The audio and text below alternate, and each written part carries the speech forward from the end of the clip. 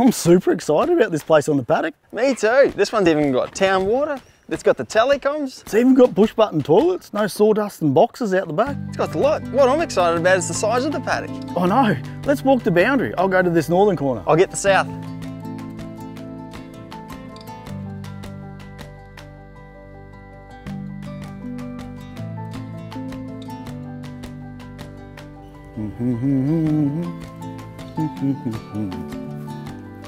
I walked alone. Where is he? 90, 91, 92, 96, 97. Okay.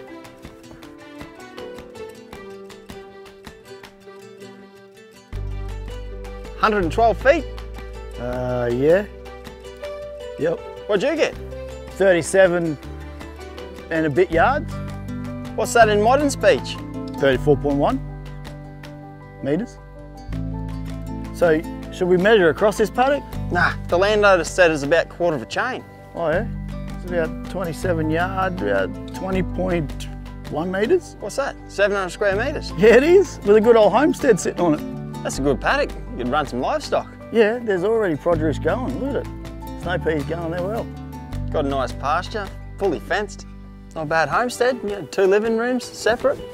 You know, central located kitchen, four bedrooms, two bathrooms. Not bad garaging. No, two of them. Plus you got this northeast facing entertainment area.